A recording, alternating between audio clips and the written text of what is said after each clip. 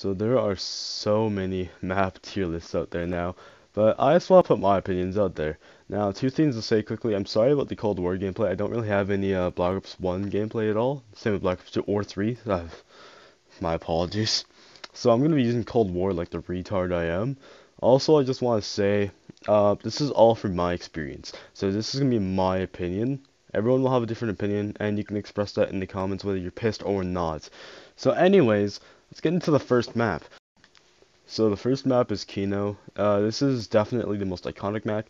Map, uh, probably the most uh, overrated map, I'll say. It's still a solid map, though, is the thing.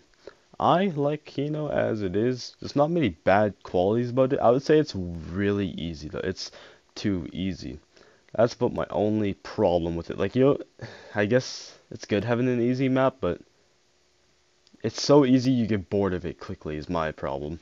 But, um, you know, it's still a pretty good map. I'm going to put it in the great category because of its little amount of flaws. Next up is 5. 5 is also, I would say, an underrated map. I actually hated this map at first, but I grew to like it a lot more. It's not a bad map by any means, but it's also not the best map in the game. I would say it's anti-player, so it's very hard when you start getting to zombies. So that's probably why lots of people hate it. But when you actually get used to the map, uh, you'll see its better qualities. It's basically meant to be a solo playthrough, I'll say. But if you can play solo and you know the map well, it's a really fun map.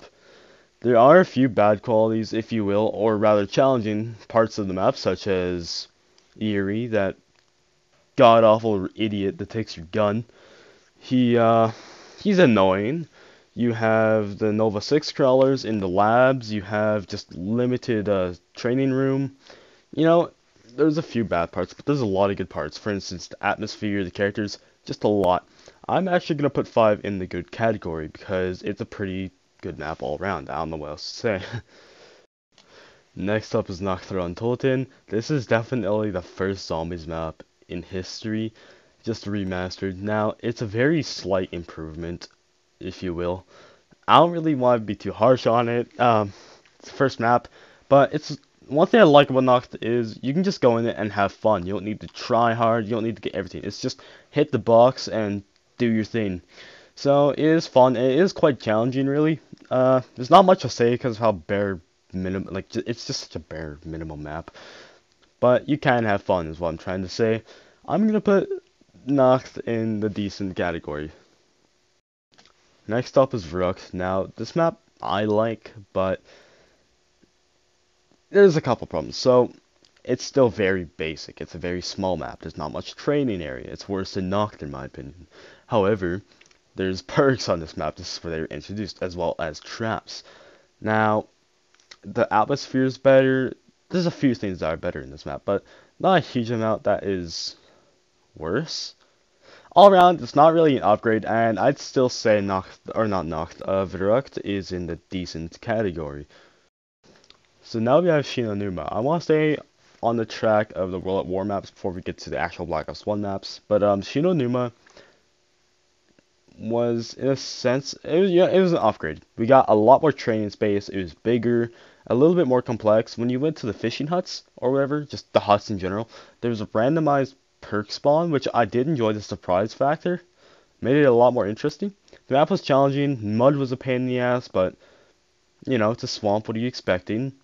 Uh, the atmosphere was not bad as well. Uh, you know what, I didn't mind it. The Wunderwaffe was a nice weapon for this map as well. Not much to complain, other than it can be quite slow. Now, I'm going to say Shi No Numa is a quality map. So next up, we now have Der Riese. Now, Der Riese is a revolution, as some would say, as it introduced Pack-a-Punch. It's also a pretty easy map. It's a fun map. You know, it just introduced a lot of new things for the better. Uh, the atmosphere is nice. You know, there's not much to complain about this map, really. Uh, it might be a little easy, but, you know, I don't mind it. It's at least fun. It's a fun easy. you know what? I don't know what else to say. I don't really know anything that's bad about this map. I'm gonna put it put uh, put it in the perfect category. I really just don't see anything too bad about this map. Really.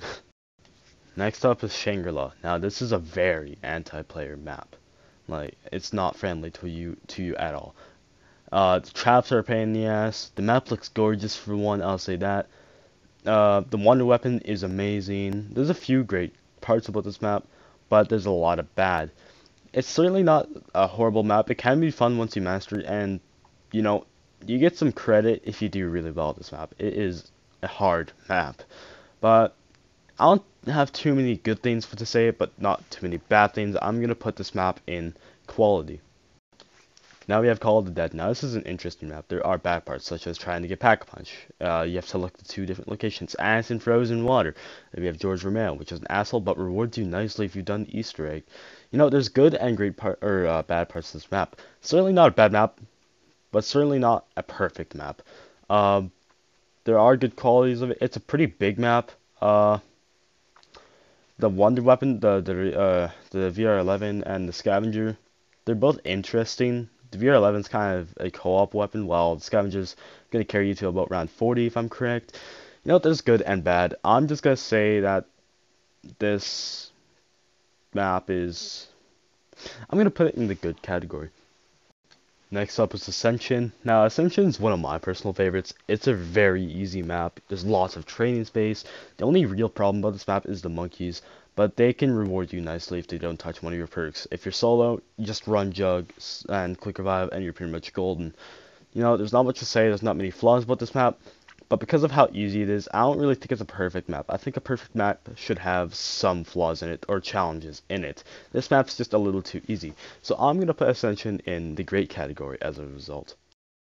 And lastly, we have Moon. Moon is it holds a special place in my heart. It is pretty much an introduction to what we are to expect in Black Ops 2, except in my opinion, it's better than every Black Ops 2 map there is. Moon is a really good map. There's really good parts of it, such as the wonder weapons. The training areas are phenomenal. There's a lot. You can even train outside if you want zero gravity. I don't know why you would, but if you really want. Uh, you know, there's just a lot of good parts about Moon. But there's a few bad parts. There's challenges, such as the excavators. You have the Cosmonaut, which is a pain in the ass if he hits you He takes your perk away. You have Jug and Speed Cola that spawn on Earth, which you have to teleport to by a time thing. Oh, and by the way, uh, the perks are in systematic rotation. So that's cool. That that's amazing. But you know, other than those small things, those are the challenges of the map. They help make it fun. They keep you on your toes. You know, they really make this map a whole lot more exciting to play. Moon is a perfect map in my eyes. Anyways, that's all I have to say. I hope you agree with my uh, tier list. Uh, it's just from my experience. I'm sorry about the Cold War gameplay once again. But anyways, have yourselves a nice day.